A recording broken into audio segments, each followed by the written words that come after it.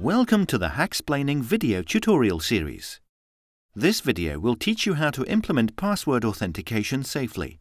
Safe treatment of passwords can be one of the hardest things to do correctly when building a website, but is also one of the most important things to get right.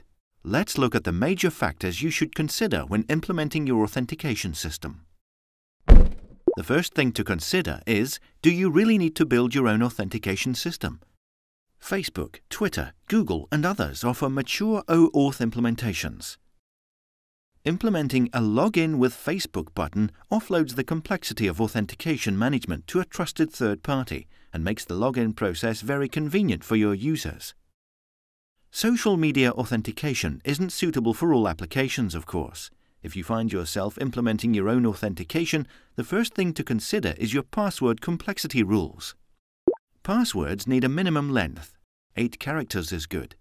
Many sites require mixed case, numeric characters, or special symbols in an effort to encourage less guessable passwords.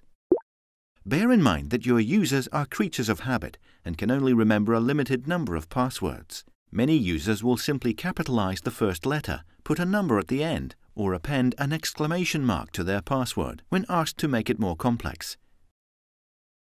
Even worse, if your password complexity rules are too arduous, users will resort to writing their passwords down, which undermines the effort you are putting in to make them secure.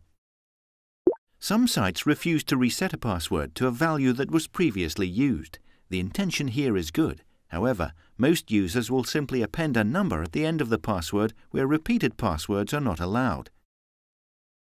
Which brings us on to another subject, how to implement password resets. The industry standard is to allow users to send themselves password reset emails.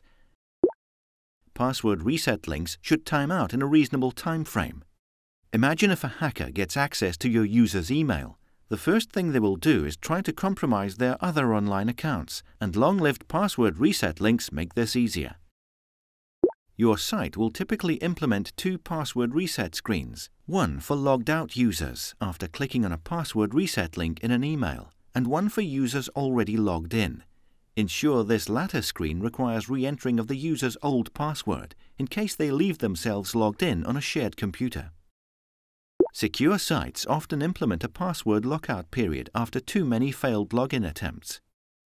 This is to discourage brute forcing of passwords, where an attacker submits a list of common passwords against known usernames this opens up the possibility of a malicious user intentionally locking out a named account though, so forcing the user to pass a CAPTCHA test may be better.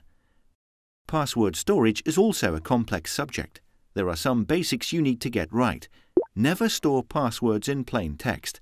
Always use a one-way hashing algorithm to encrypt your stored passwords. This will protect your users even if your database gets hacked.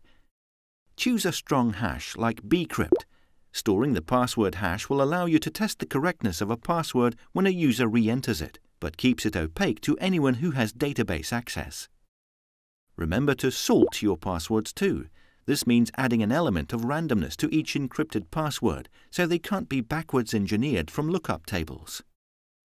Good password management needs to be paired with good session management. Remember to implement session timeouts or you risk having your users' accounts compromised if they forget to press the logout button. Also consider whether you want browsers to cache passwords on your login page. There's a trade-off between convenience and security here. Think carefully what is most important for your application and be aware that browser settings or password manager plugins may override your suggestion not to cache passwords. Lastly, make sure your site uses HTTPS and marks cookies as secure. Unencrypted communication is vulnerable to network sniffing, meaning passwords could be stolen in transit by man-in-the-middle attacks.